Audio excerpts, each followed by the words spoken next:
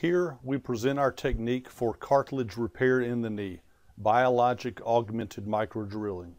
We have no disclosures. In the operating room, the patient is first positioned lateral to collect bone marrow from the posterior superior iliac spine. 20 cc's of marrow are collected into a catheter tip syringe pre-filled with 100 units of heparin. For the bone marrow aspirate concentrate preparation, we begin with a 150 milliliter blood transfer bag. Crimp tubing and securely place a clamp. Then, remove the transfer bag port cover and insert a coupler into the open port. Close all three filter clamps and attach an 18 gauge needle to the Luer adapter. Insert collected bone marrow through the coupler into the suspended transfer bag. Invert the bag and remove the coupler. Now to the filter. Remove the cap from one piercing pin and insert the pin into the open bag port. Resuspend the bag to prepare for filtration. Open the upper filter clamp completely. Gently squeeze the drip chamber to encourage marrow to flow through the filter.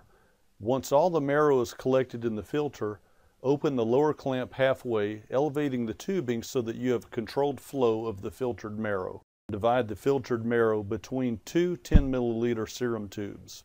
Fill counterbalances with water if needed, before placing them into the centrifuge. The tubes are centrifuged for 10 minutes at 1300 G. After centrifugation, the buffy coat is clearly visible.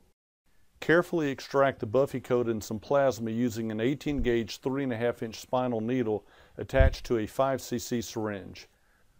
This procedure yields 3 to 5 cc's of bone marrow aspirate concentrate between 6 and 7 cc's of platelet-rich plasma is prepared using the Biomet GPS-3 system. Finally, we have hyaluronic acid, platelet-rich plasma, and bone marrow aspirate concentrate ready for injection. The three components are combined and thoroughly mixed in 120 cc syringe. While the marrow is being processed, the patient is positioned supine with the contralateral leg abducted on an arm board. During the procedure, multiple holes will be drilled with a 2 millimeter burr. The burr must first be modified to allow it to be used for drilling. Make a mark at 7 millimeters from the tip of the sheath. Remove the burr from the sleeve and cut at the 7 millimeter mark. Use an obturator to open the sleeve back up. With the obturator in place, pinch the crimped ends with a needle driver to finish rounding the end of the sleeve. Reinsert the burr. It is now ready to use. Standard arthroscopic exam of the knee is carried out. Here, lesions of the central patella ridge will be treated. First, a ring curette is used to remove remaining cartilage, including the calcified cartilage layer. The 2 mm burr is then used to drill multiple holes 7 mm deep and separated by 2 to 3 mm. Holes are drilled slowly, backing out several times to prevent thermal necrosis. Note the use of a tenaculum clamp on the patella. Tilting of the patella by an assistant greatly facilitates perpendicular drilling of the patella. Also, the portal for the burr must be very posterior to allow drilling at the proper angle.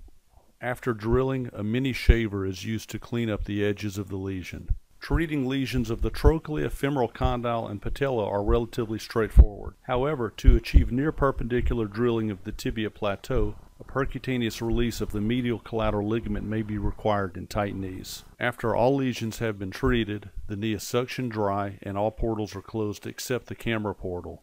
The mixture of BMAC, PRP, and HA is injected directly into the primary lesion with an 18 gauge spinal needle. Postoperative rehabilitation consists of CPM use for one month and partial weight bearing on crutches for six weeks.